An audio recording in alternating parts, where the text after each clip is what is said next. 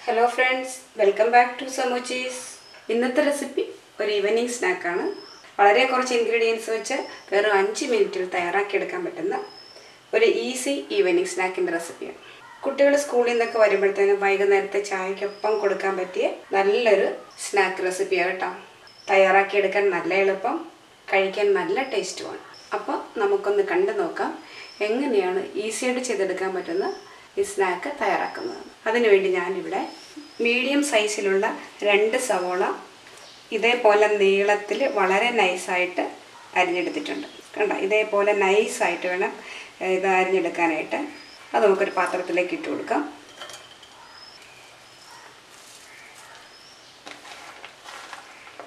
സവോളയുടെ എണ്ണം നമ്മുടെ ആവശ്യത്തിനനുസരിച്ച് കൂട്ടി കൊടുക്കാം ഞാനിപ്പം ഇവിടെ രണ്ട് സവോള എടുത്തിട്ടുള്ളൂ. ഇതിലേക്ക് ഒരു പിഞ്ച് മഞ്ഞൾപ്പൊടി ചേർക്കാം. ഒരു മുക്കാൽ ടീസ്പൂൺ മുളക് പൊടി ഒരു കാൽ ടീസ്പൂൺ ഗരം മസാല ഒരു കാൽ ടീസ്പൂൺ കായപ്പൊടി. അടുത്തായിട്ട് ഇതിനകത്തേക്ക് ചേർത്ത് കൊടുക്കുന്നത് ഇതേപോലെ ഒരു ടീസ്പൂൺ ഇഞ്ചി വെളുത്തുള്ളി പേസ്റ്റ് ഒരു തണ്ട് കറിവേപ്പില ഒരു മൂന്ന് പച്ചമുളക്. ഇതെല്ലാം വളരെ ചെറുതായിട്ട് കട്ട് ചെയ്തെടുത്തിട്ടുണ്ട്. അതിനകത്തേക്ക് ചേർത്ത് കൊടുക്കുക.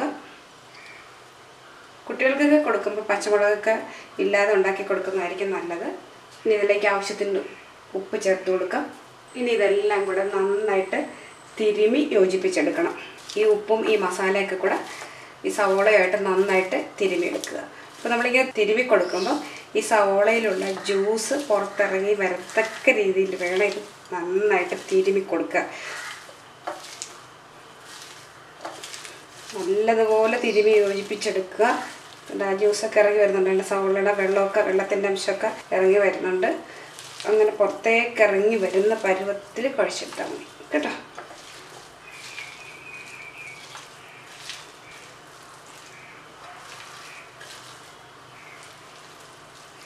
സവോളയും മസാലയൊക്കെ നല്ലതുപോലെ മിക്സാക്കി എടുത്തിട്ടുണ്ട്. അടുത്തായിട്ട് നോക്കിയതിനകത്തേക്ക് കുറച്ച് പൊടികൾ ചേർത്ത് കൊടുക്കാം. ഞാനിവിടെ രണ്ട് ടേബിൾ സ്പൂൺ കോൺഫ്ലവർ ആണ് ആദ്യം ചേർത്ത് കൊടുക്കുന്നത്. കോൺഫ്ലവറിന് പകരം അരിപ്പൊടി ഉണ്ടെങ്കിൽ അത് ചേർത്ത് കൊടുത്താലും മതി. പിന്നെ ഒരു രണ്ട് ടേബിൾ സ്പൂൺ കടലമാവും കൂടെ ചേർക്കാം. ഇതെല്ലാം മിക്സ് ചെയ്തിട്ട് പോരാതെ വരുവാണെങ്കിൽ വീണ്ടും ചേർത്ത് കൊടുക്കാം കേട്ടോ. ഇപ്പോൾ രണ്ട് രണ്ട് സ്പൂൺ വീതം കോൺഫ്ലവറും രണ്ട് സ്പൂൺ കടലമാവും ചേർത്തിട്ടുണ്ട്. വീണ്ടും നന്നായിട്ട് മിക്സ് ചെയ്ത് കൊടുക്കുക. എന്താ ഉള്ളിൽ നിന്നൊക്കെ സവളയിൽ നിന്നൊക്കെ നന്നായിട്ട് വെള്ളം പുറത്തേക്ക് വന്നിട്ടുണ്ട്.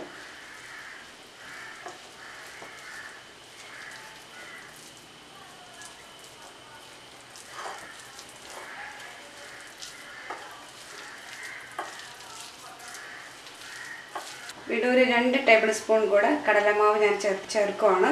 നന്നായിട്ട് മിക്സ് ചെയ്ത് കൊടുക്കുക. ഇനി ഇതിനകത്ത് വെള്ളമൊന്നും തളിച്ചു കൊടുക്കേണ്ട ആവശ്യമില്ല. നല്ലതുപോലെ ഇതിന് നനവുണ്ട്.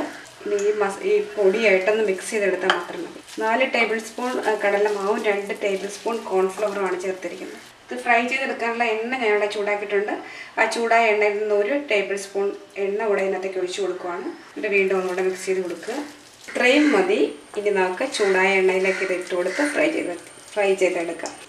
ഇത് ഫ്രൈ ചെയ്തെടുക്കാനുള്ള എണ്ണ ചൂടായി വന്നിട്ടുണ്ട്. ആ ചൂടായ എണ്ണയിലേക്ക് നമുക്ക് ഇതിട്ട് കൊടുത്തിട്ട് ഫ്രൈ ചെയ്തെടുക്കാം. മീഡിയം ഫ്ലെയിമിൽ വെക്കുക. ഹൈ ഫ്ലെയിമിൽ വെച്ച് ചെയ്യരുത്. പെട്ടെന്ന് കരിഞ്ഞു പോകും. ഇതുപോലെ കുറേശ്ശെ കുറേശ്ശെ ഇട്ട് കൊടുത്തിട്ട് ചെയ്താൽ മതി.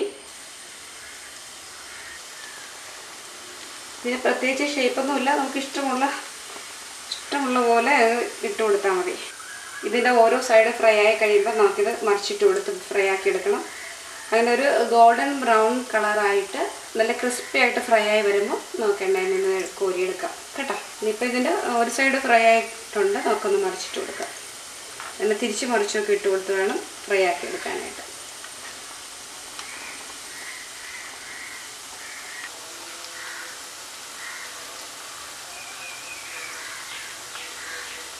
ഇതിപ്പോൾ നല്ലതുപോലെ ഫ്രൈ ആയി വന്നിട്ടുണ്ട്. നമുക്കിനി വെണ്ണയിൽ നിന്ന് കോരിയെടുക്കാം.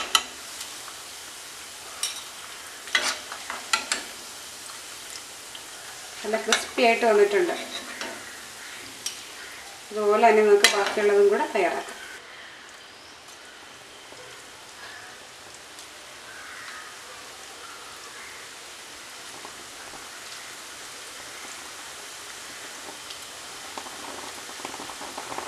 ഇതും ഫ്രൈ ആയി വരട്ടെ. ഫ്രൈ ആയി കഴിയുമ്പോൾ നമുക്ക് എണ്ണയിൽ നിന്ന് കോരി എടുത്ത് മാറ്റാം. ഇതും ഇവിടെ ഫ്രൈ ആയി വന്നിട്ടുണ്ട്.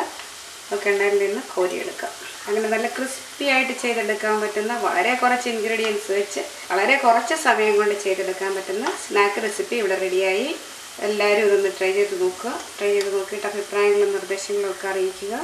വീണ്ടും അടുത്ത റെസിപ്പിയുമായി കാണാം. താങ്ക്